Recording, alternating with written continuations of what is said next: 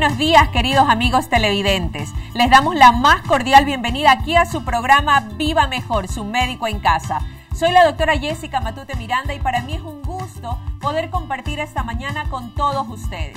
Hoy tenemos como invitado un gran especialista en el área de traumatología y ortopedia. El doctor nos va a poder comentar sobre la artrosis ¿Cómo podemos evitar esta artrosis al futuro, más adelante en nuestra vida, pero con unos tips para el cuidado desde cuando son niños, desde la infancia? ¿Qué podemos hacer para evitar esa temida y tan dolorosa artrosis que molesta a muchos de los pacientes cuando vamos avanzando en edad? Así que no se puede perder el programa del día de hoy aquí por su canal universitario. Los vamos a invitar a todos ustedes a ver una pauta que nos ha preparado producción y enseguida regresamos con nuestro médico invitado.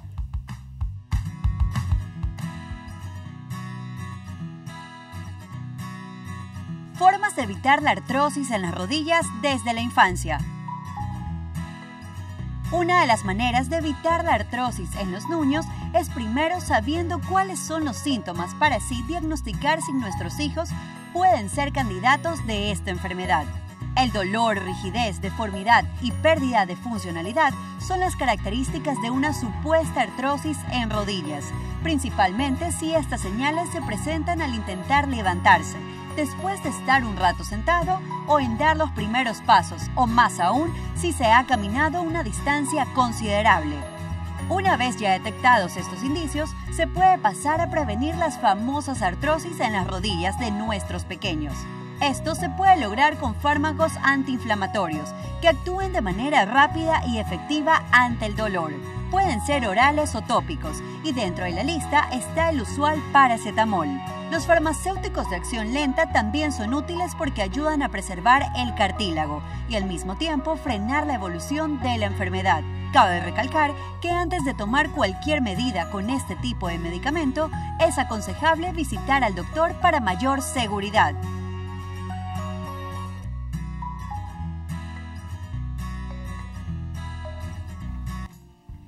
Bueno, y estamos aquí luego de ver esta pauta introductoria sobre cómo podemos evitar esta artrosis a futuro con todos los cuidados en nuestros niños. Quisiera presentarles a nuestro médico invitado en esta mañana aquí en Viva Mejor y es el doctor Guido Longo Barba. El doctor Guido Longo es doctor en medicina y cirugía.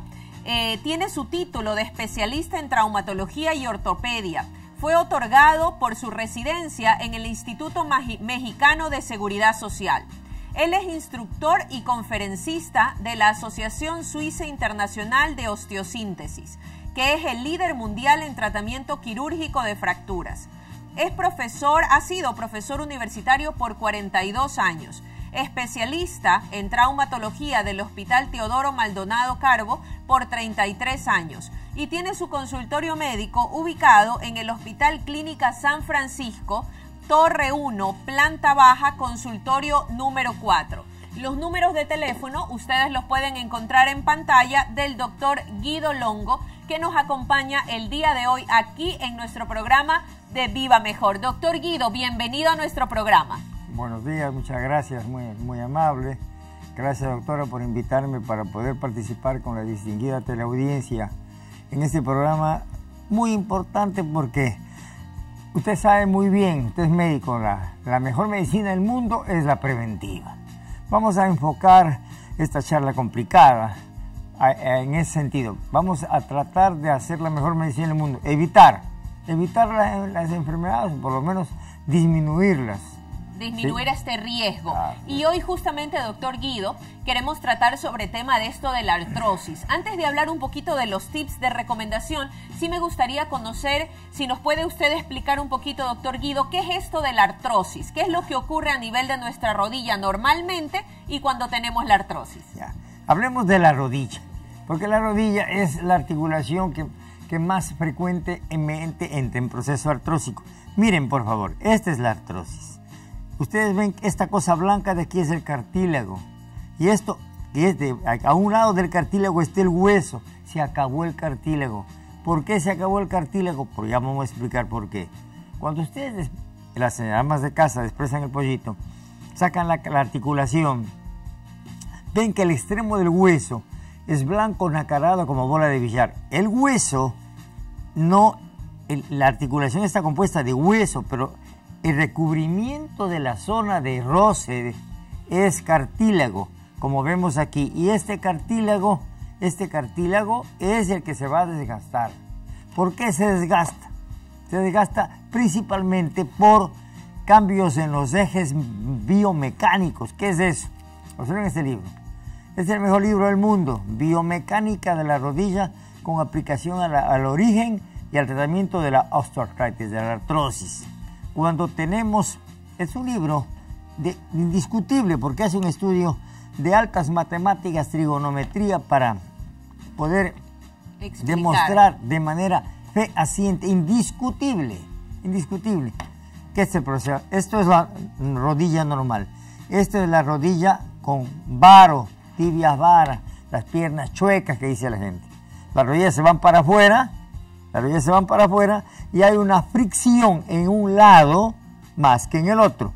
En vez de que la rodilla se desgaste uniformemente y poco, se desgasta mucho porque la fricción está cargada hacia un lado como lo que ocurre a los, vehículos cuando no, las ruedas no están alineadas, entonces se desgasta el, neumático más de un lado. uno más que el otro. Esas son las típicas piernitas que están arqueadas hacia adentro. Hacia adentro. Esas son las tibias varas. Varas, las, que están encorvadas hacia adentro y va poco a poco desgastando esa articulación de la rodilla. Pero también hay unas arqueadas como hacia afuera. Hacia afuera, se llama genuvalgo.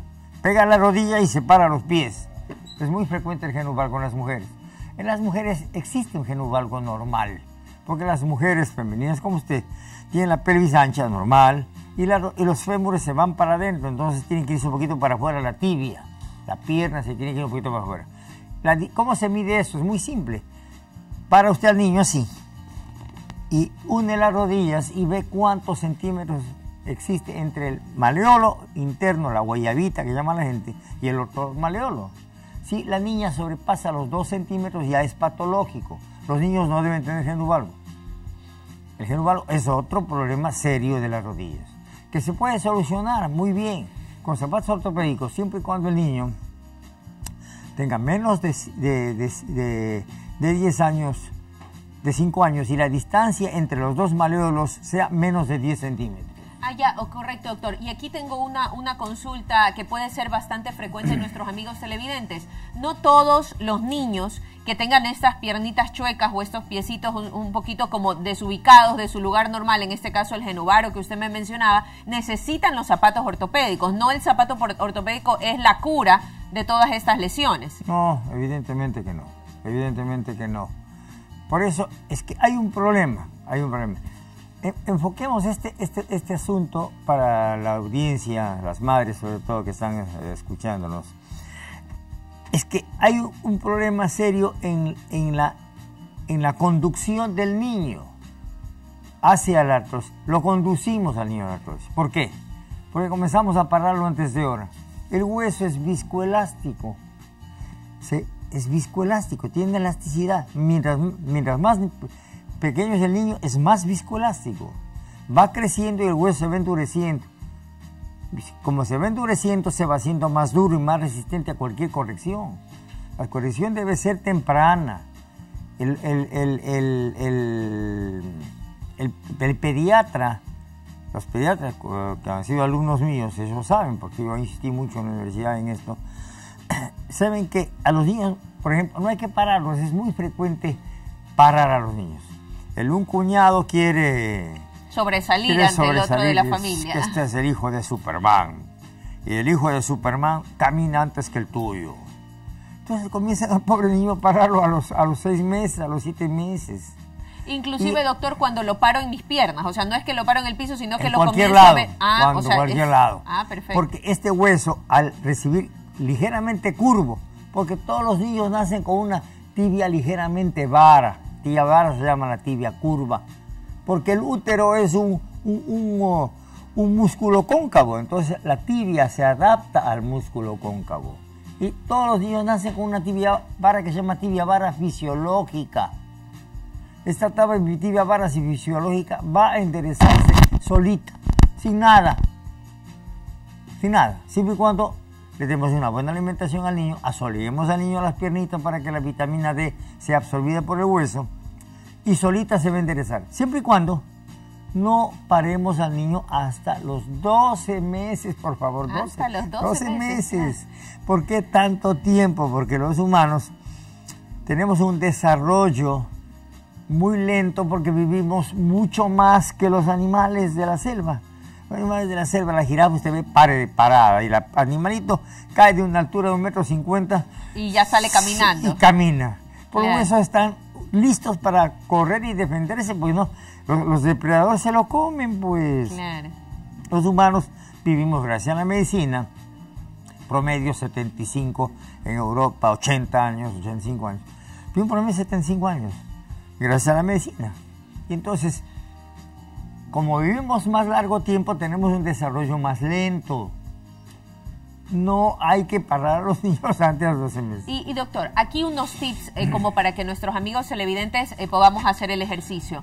Eh, el niño comienza a gatear, siete meses, ocho meses, empieza a gatear. Y cuando lo ponen en el corral, porque generalmente ahí pasan los chicos, ellos intentan pararse y se agarran y se paran. Exactamente. Es lo que yo siempre, es lo que siempre pasa en mi consultorio, les digo a las madres, hágale un corral especial el correo pequeño que se dobla y sirve para irnos de viaje, ese es, ese es el culpable. Porque el espacio es tan pequeño que el niño le queda dos, dos, dos, gateaditas y se agarra de los, de los coquitos y se para, pues, mm. porque instintivamente se tiene, quiere pararse, pues. Claro. Entonces eso es un error que cometemos en el día a día. claro, lo dejamos en ese corral pequeño que es de, para el viaje, bueno, maravilloso hay que construir en el, en, el, edificio del niño un corral especial. Claro, para que él pueda explayarse un poquito. Unas barandas de un metro, con, anchas así, para que el niño no, no pueda agarrarse de las barandas, anchitas.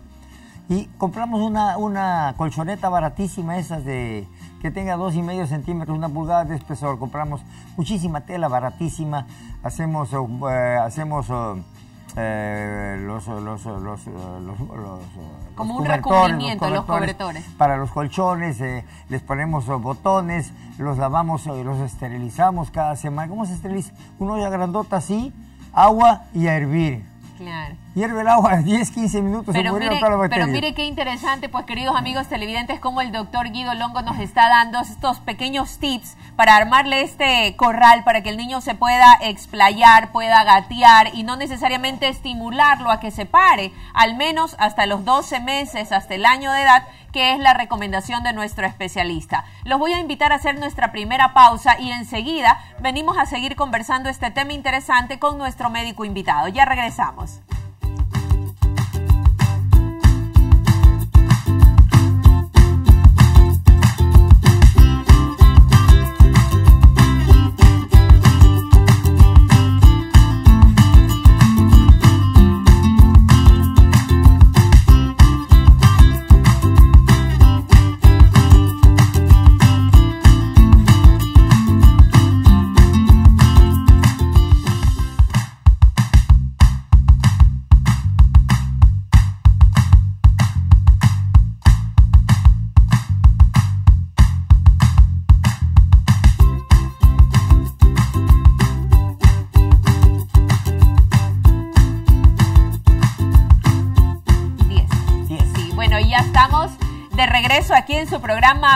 Mejor su médico en casa. Y estoy muy bien acompañada aquí en nuestro set con el doctor Guido Longo. Él es especialista en traumatología y ortopedia. Con toda su experiencia a lo largo de su vida, pues nos ha estado comentando estos tips de que los niños hasta los 12 años, eh, hasta los 12 meses, perdón, no deberíamos pararlos o hacer este esfuerzo de pararlos, de que traten de caminar. O también decíamos que uno de los factores que podía inducir a que los niños quieran pararse y caminar es el corral, porque el corral es un lugar pequeñito. Pero el doctor Guido nos estaba comentando la idea de nosotros formar en nuestro hogar nuestro propio corral, con estas colchonetas, con estas sábanas que las vamos a esterilizar en agua hirviendo cada semana, ¿verdad? Y lo vamos a hacer mucho más amplio para que el niño pueda gatear, pueda moverse, pueda tener sus actividades. Algo más como complemento, doctor Guido, en este corral que deberíamos tener para nuestros niños.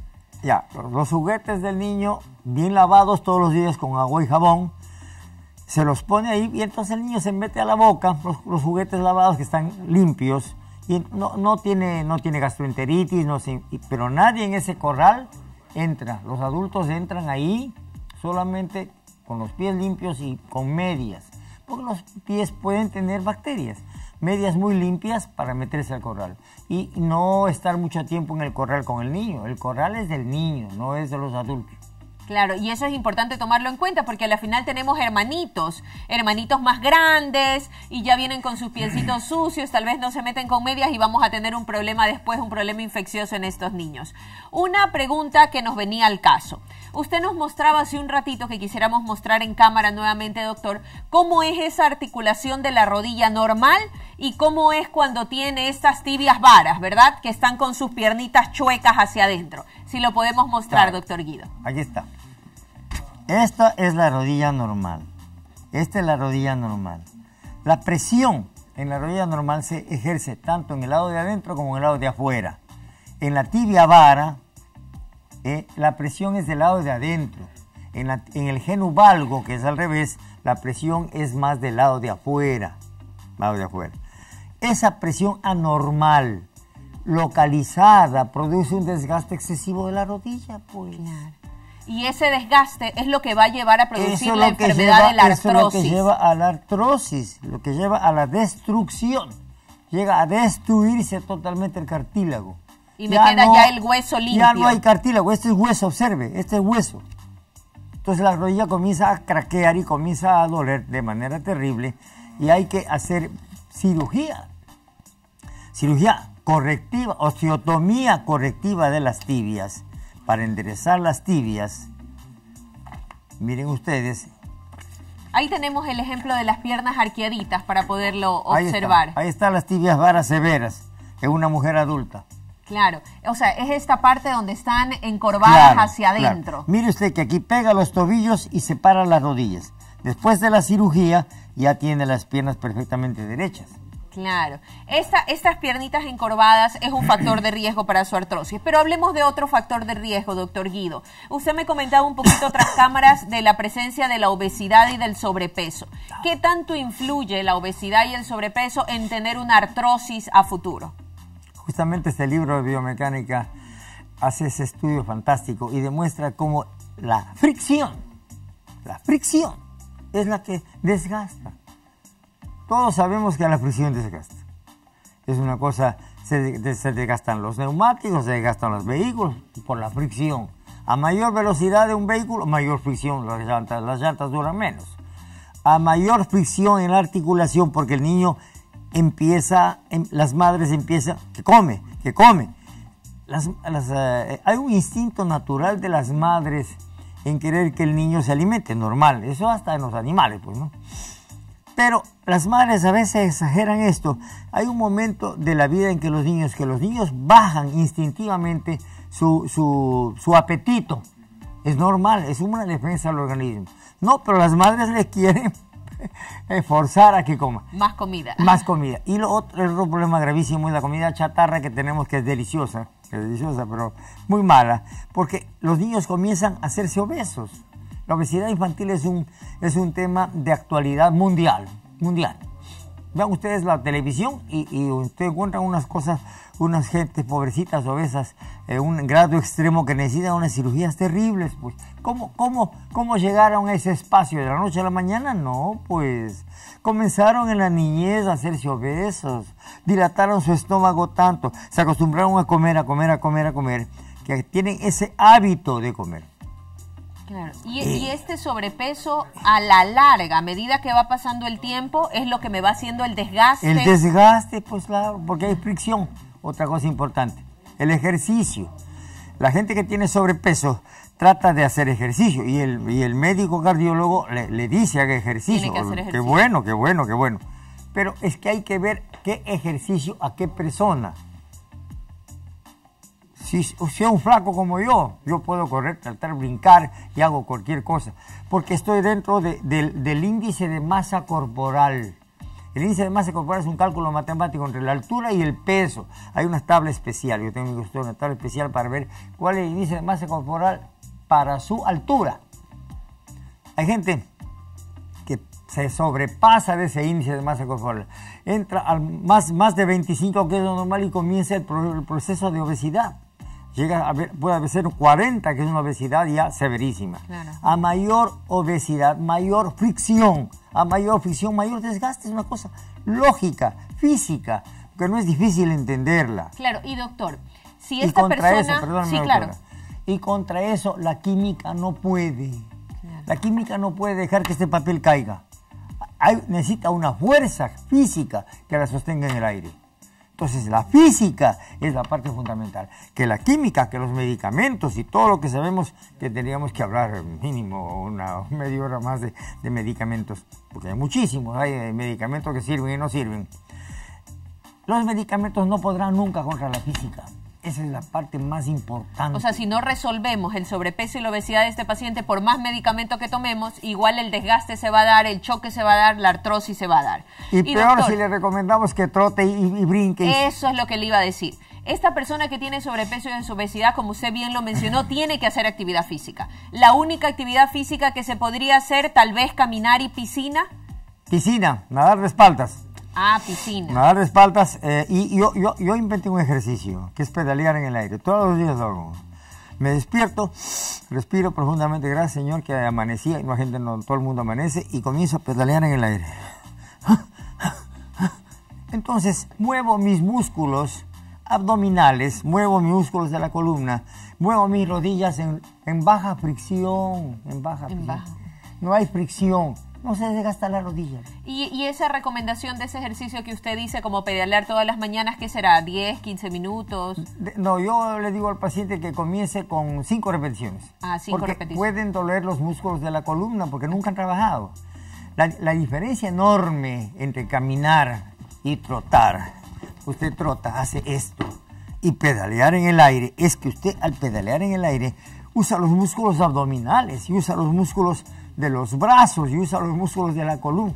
Entonces, usted quiere bajar de peso, no se ponga a caminar porque lo único que usted está haciendo con el sobrepeso es golpetear las rodillas. Pedale en el aire, pedale en el aire y va a quemar más calorías porque va a usar más músculos los músculos de los miembros torácicos, los músculos del abdomen, los músculos de la columna y obviamente sus rodillas. Y sus rodillas van a, funcionar prácticamente con low friction, como dicen los americanos, con baja fricción. Perfecto. Así tiene que ser el ejercicio, no caminar, no peor trotar. Peor trotar. O, a los chicos se los mete en el fútbol, en el básquet, para que hagan alguna actividad como está Vamos, dale, y con azote. Porque el chico, el gordo no quiere hacer ejercicio, pero quiere comer. Y entonces eso va desgastando más y vamos a tener la artrosis. Miren qué interesante, queridos amigos televidentes, si ustedes tienen alguna duda o alguna pregunta que le quieran realizar al doctor Guido Longo, nuestro especialista del día de hoy en traumatología y ortopedia, lo pueden hacer llamando al número telefónico 222 1618. 222-1618. También pueden hacer nuestras consultas por las redes sociales de Viva Mejor, como en nuestra página de Facebook Viva Mejor TV. Estamos para servirles y poderles ayudar con sus preguntas. Hay una pregunta que nos han realizado como un mito, doctor Guido, que quisiéramos hacérsela a usted. Este mito, no sé si lo podemos poner tal vez en pantalla, dice lo siguiente. Mi hijo caminó desde los 5 o 6 meses. Eso es un gran logro que yo tuve. Ya lo ha comentado el doctor Longo. ¿Qué le diría usted, doctor, a esta mamá que está feliz que su niño ha caminado a los seis meses de edad? Y el papá más, pues. Papá, el papá más. Este es hijo de Superman, pues. Camina más que el tuyo, más rápido. A la larga, vamos a tener esta complicación de la artrosis. Como, como dije, la tibia, el niño es viscoelástica, recibe carga esta, esta cosa, esta regla ligeramente curva, le, pongo una ligera carga. Se angula, pues se pandea. Esto es física. Recordemos que la física es la reina del universo. por gracias a la física estamos, estamos eh, eh, eh, la Tierra sobrevive y, tiene sus grados de inclinación, etc. Y el mundo se mantiene, y se mantiene funcionando, el, el universo, a la física. Así mismo ocurre en las piernitas de esto estos es Física, Esto es física, no, no esto se pandea, se angula. Primero que ya esta curva, como dije yo, porque todo niño nace con la tibia vara, fisiológica. Si a esto le ponemos carga, se pandea más, pues se angula más. Y ahí vamos a tener la lesión Estamos hablando de, este programa es de prevención. de prevención. No podemos hablar de tratamiento porque eso es otro tema. Cuando quieran hablamos de tratamiento, me invita y hablamos de tratamiento. Pero aquí estamos hablando de los temas más importantes del mundo, la mejor medicina del mundo, la prevención. Claro, sobre todo aquí con estas recomendaciones. Tenemos una llamada, querido doctor. Veamos cuál es la consulta de nuestro amigo televidente. Muy buenos días. Muy buenos días. Sí, querida amiga. ¿De dónde nos llama? Estoy llamando de aquí de Guayaquil. Eh, no, estaba así con curiosidad, que ustedes decían que a los niños había que hacerlos caminar a partir de los, de, de los 12 meses. Ajá, sí, mi querida amiga. ¿Cuál es su pregunta? ¿Esa quería usted que le aseguramos que eso es cierto? Eh, ajá, o sea, como así, o sea, los 12 meses. ¿Y hay niños que caminan supuestamente antes de los 12 meses o no? Sí, sí, querida Pero no es bueno que camine, o sea, es simplemente mejor que gatee nomás. Sí, Sí, correcto, querida amiga, y muchas gracias por su pregunta, porque muchas mamás a la final recién se conectan a nuestro programa, doctor Guido, y eh, no escucharon esta pequeña partecita que explicamos. Pero el doctor Guido cogió su reglita, que lo voy a hacer ahorita con este papel de Viva Mejor, y él nombraba que este huesito, ¿verdad?, es bastante elástico. Es, este, es viscoelástico. Entonces, al ser elástico, puede ser que el niño eh, nazca, ¿verdad?, o esté en estas etapas de meses medio curvado y sea normal pero a medida que el niño va creciendo, pues se va enderezando. Sin embargo, cuando el niño empieza a caminar antes de los 12 meses, esta curvatura todavía la tiene y al aumentarle el pesito de él, lo va a acentuar más esta curvatura. Y esta curvatura que va a dar como resultado que a la larga tenga esta lesión de las tibias varas, ¿verdad, mi doctor? tibias varas, que vaya a tener que hacer una cirugía posterior, como él lo mostró en el libro, o pueda generar este desgaste de la articulación de la rodilla. Va a generar. Va a generar este desgaste de la articulación de la rodilla y va a tener esta futura artrosis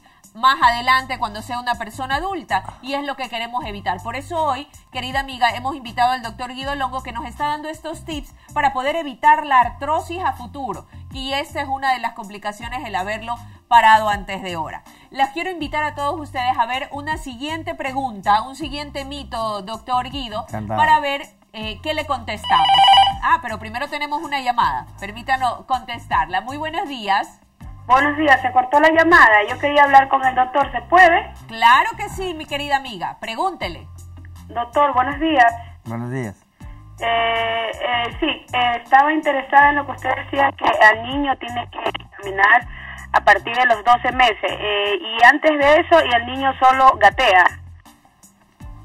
Solo gatea, por eso hablamos con la doctora que hay que construir un, un, corral. especial, un gateador especial, en donde el niño es, el único que entra en este, en este corral eh, con, una, con, una, con una cobertura eh, muy limpia que se cambia cada cuatro o cinco días. Se esterilizan las sábanas, se lavan todos los días sus juguetes con agua y jabón y el niño se puede meter a la boca y, y ahí gatea porque es un amplio espacio no es como el corral chiquito, el corral de coquitos, que es el que se dobla así, que es el que tenemos en aquí todos, y, si camina el niño antes de esa hora, eh, las piernitas se le van a. Si camina antes de hora, el niño va a se va a deformar, porque el hueso es viscoelástico, el hueso es... Mm. El hueso ya, ya nació curvo, esto es fisiológico, normal. Se enderezará solo, solito, sin ningún tratamiento, siempre y cuando no, no, no le carguemos peso, pues. Si le cargamos peso, se, se va a arquear más. Es físico. Ya, y, otra, pregunta, por ejemplo, si una persona tiene las piernas un poco, eh, como decir, este, arqueadas, y luego él hace ejercicio, o sea, va a hacer ejercicio todos los días como una rutina de, de salud y, todo este tipo de, de situación, eh, este, a lo largo, o sea, no le va a ocasionar dolor, dolor en las rodillas por, por hacer demasiado ejercicio, o sea, camina, camina, camina, o le puede dar de pronto, no sé, algún infarto al corazón, algo. A ver, este tema del ejercicio es de, eh, de fundamental importancia, es muy importante.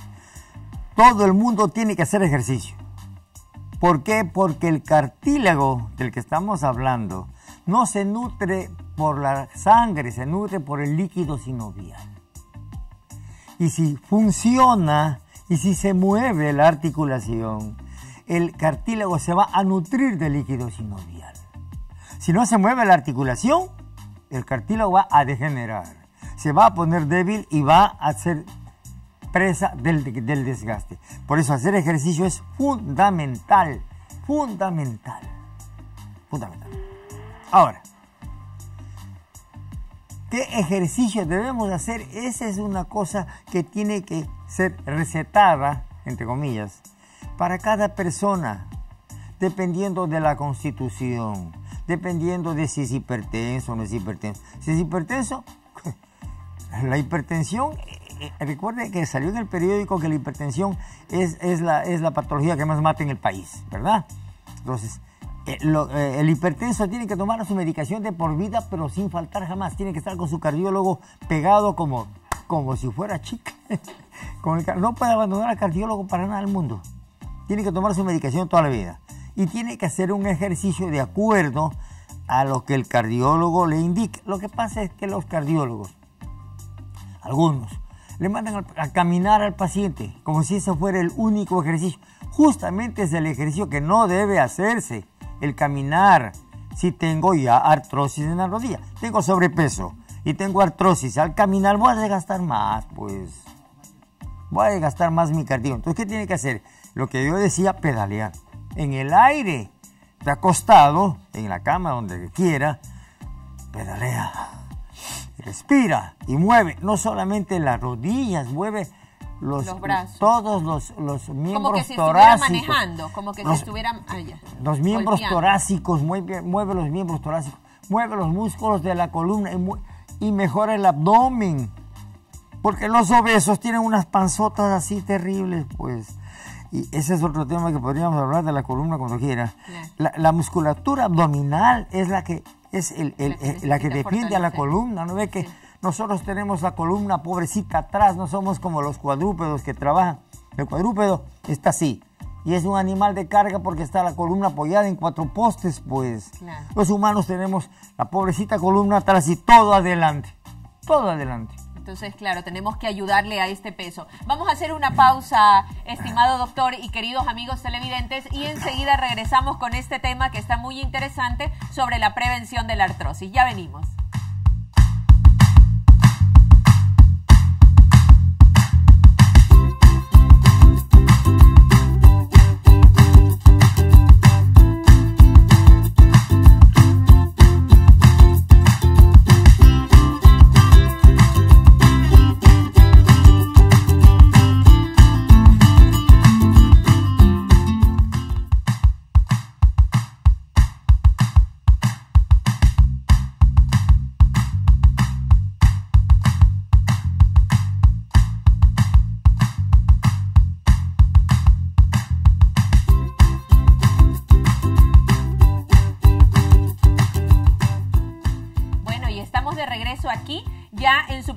Viva Mejor tratando sobre la prevención de la artrosis. Hemos hablado ya algunos, algunos tips interesantes sobre no parar a los niños antes del año de edad, hacerles un corral grande para que ellos puedan gatear y de esta manera estimularse y que no se estimulen a parar. Hemos hablado de otro factor de riesgo como es el sobrepeso, que hace que el cartílago se vaya dañando, se vaya desgastando y vaya viendo un roce que va a generar la artrosis a mediano o a largo plazo. Y hemos hablado también en el caso desde el sobrepeso desde los niños y hablamos también del ejercicio, que el ejercicio como el caminar, el trotar o todo ejercicio de impacto, sobre todo si está en sobrepeso, va a golpetear mucho más este cartílago y generar la artrosis. Vamos a atender a nuestra persona que está en la línea. Muy buenos días. Buenos días. Sí, estimada señora, ¿en qué la podemos ayudar? Eh, primeramente lo felicito por el programa. Estoy oyendo, lo están hablando sobre los niños y todo. Soy una persona de 51 años. A mí me han diagnosticado artrosis de cadera. Ahora lo escucho al doctor como este hay ejercicios y todo. Si me encuentran todavía, todavía este líquido en la parte este me sale algo como femoral, no entiendo este los términos médicos un poco que me ayude y me explique. ¿Hay todavía este así algún como digo una ayuda, un remedio, algo como para no necesariamente buscar la operación? Muchísimas gracias. Gracias. Muchísimas gracias por su pregunta. Qué interesante. Ella ya ha sido diagnosticada. ¿Qué le podríamos comentar, doctor? La coxofemoral es entre el fémur y, el hueso coxal. Eso es coxofemoral, es la cadera.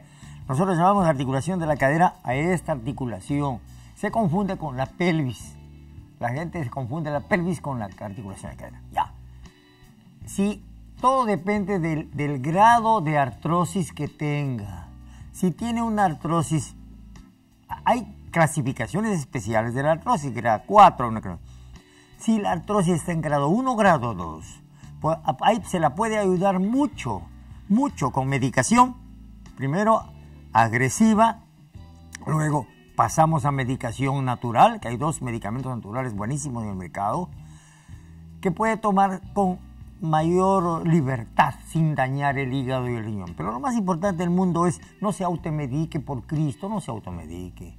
Primero hay que, llego a mi paciente, lo primero que hago es su examen de laboratorio. Déjenme ver cómo está su función hepatorenal para ver qué es lo que no le debo dar. Tengo 100 medicamentos para darle, con variaciones. La glucosa, hablemos de la vieja glucosamina. Glucosamina con ácido condroitínico, glucosamina con astaxantina, glucosamina, la, la.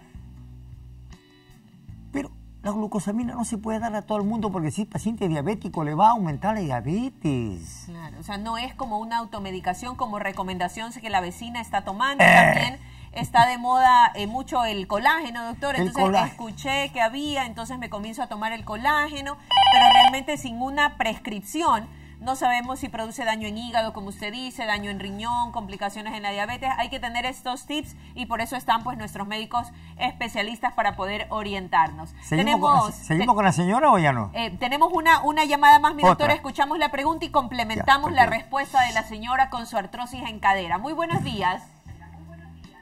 Muy buenos días. Mucho gusto de saludarla. Eh, mire, mi pregunta es que, aunque no soy no soy niña, ¿no?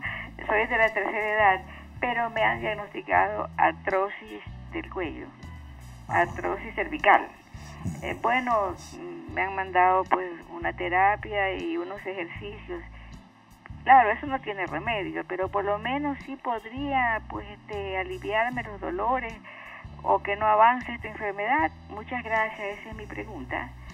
Tiene, tiene relación con la pregunta anterior, eh, doctor. O sea, la señora anterior nos preguntaba si definitivamente tengo que operarme. La señora acá nos, nos dice que si con la medicación puede calmar el dolor y puede vivir bien.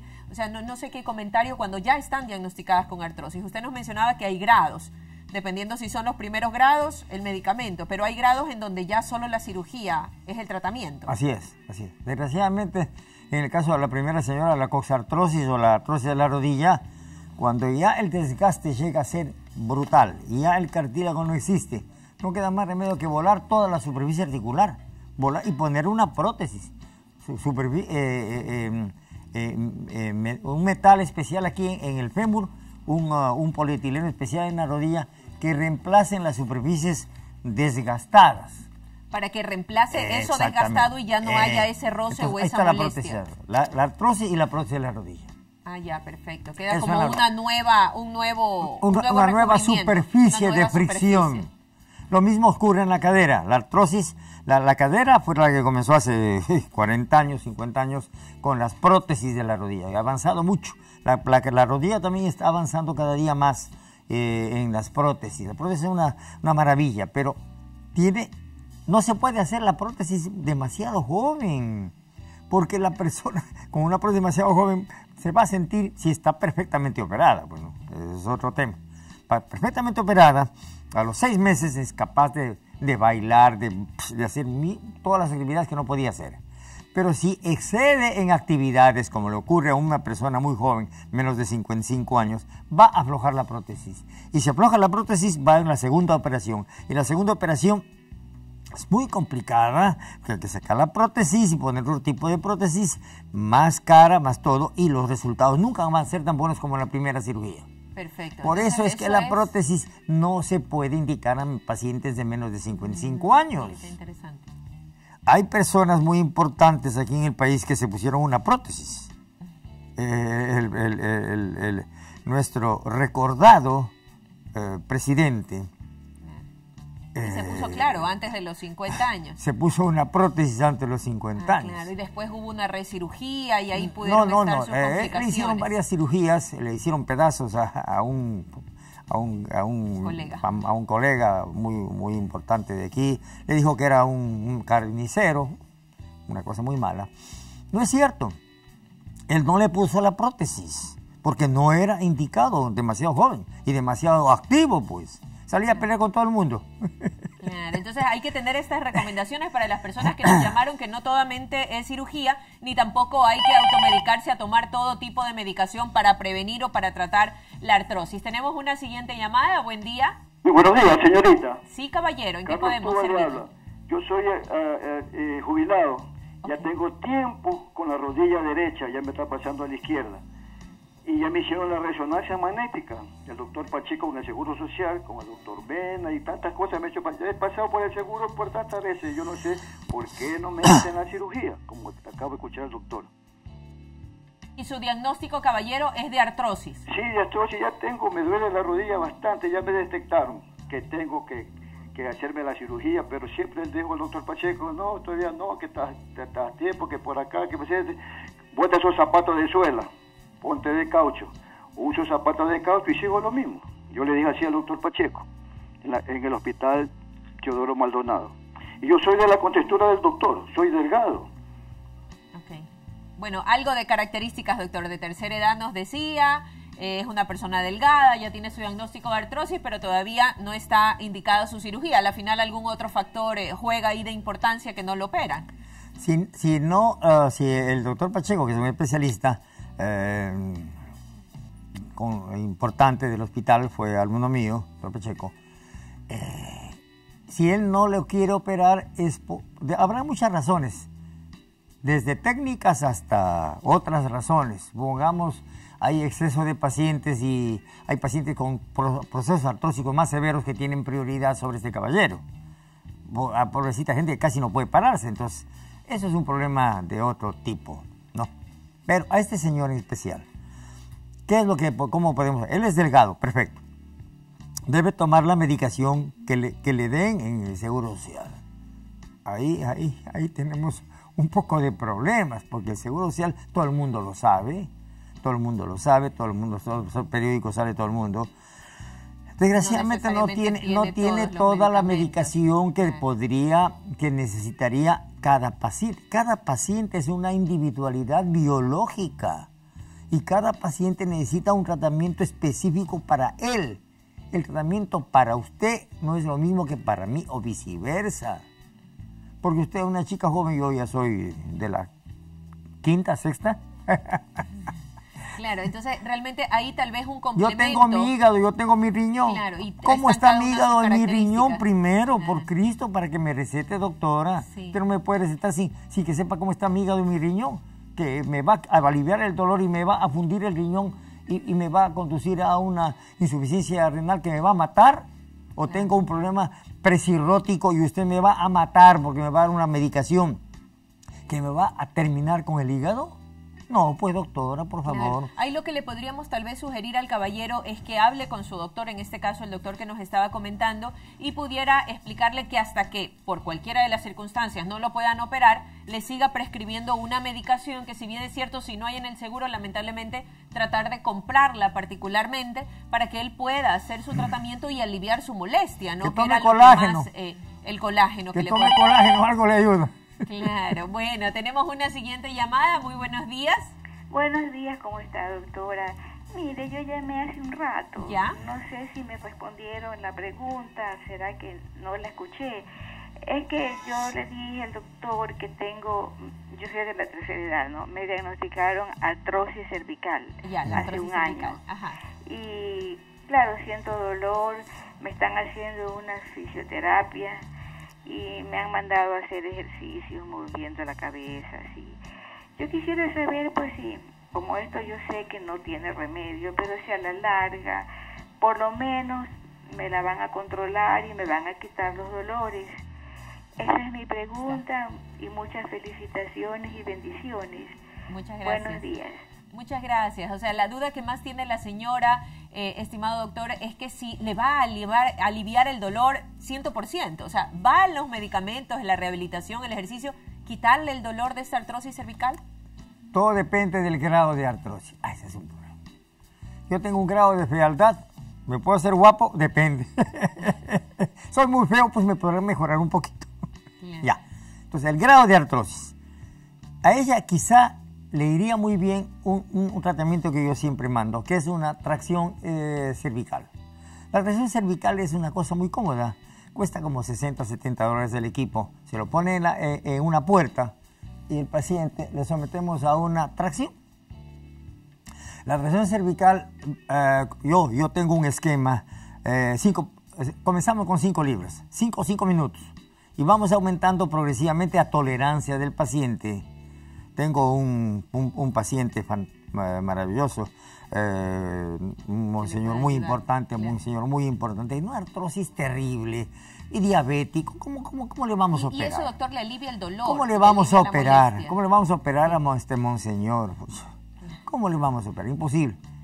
Bueno permítame, un... ratito, doctor, para que usted nos explique bien cómo es esa técnica para terminar, porque vamos a hacer una pequeña pausa que nos están esperando y terminamos esa idea para nuestra amiga, que es muy importante la solución a su problema. Ya venimos. Tracción cervical.